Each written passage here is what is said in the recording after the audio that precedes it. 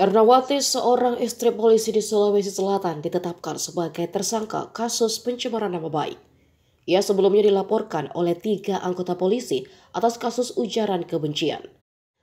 Pengumuman tersangka Ernawati berlangsung di ruang cyber Polda Sulsel Jalan Perintis Kemerdekaan Makassar, Senin 6 Maret kemarin. Kasus ini bermula saat Ernawati memviralkan kematian kakaknya akibat tindakan yang menurutnya dilakukan tiga anggota polisi sebagai pelapor. Kakaknya Kaharudin sebelumnya ditangkap atas kasus pencurian dan pemberatan pada 2019. Namun karena mencoba melarikan diri ketika dilakukan pengembangan, kakak Ernawati itu ditembak hingga dinyatakan meninggal dunia.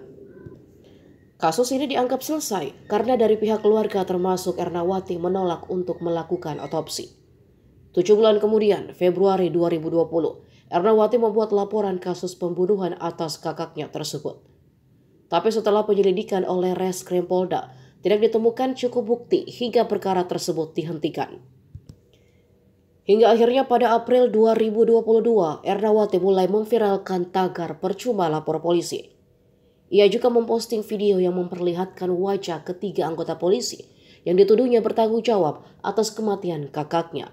Dengan keterangan, tiga anggota polisi DPO Rakyat Indonesia, pembunuh almarhum Kaharudin, Daeng Sibali, ayo klarifikasi dalam waktu tiga jam, kau kemanakan almarhum?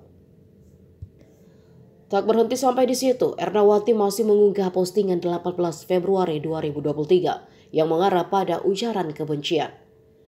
Sehingga ia langsung dilaporkan oleh tiga anggota polisi yakni Sangkala, Kamarudin, dan Andi Maparumpa. Ernawati ditangkap di Jakarta pada 4 Maret 2023 kemarin.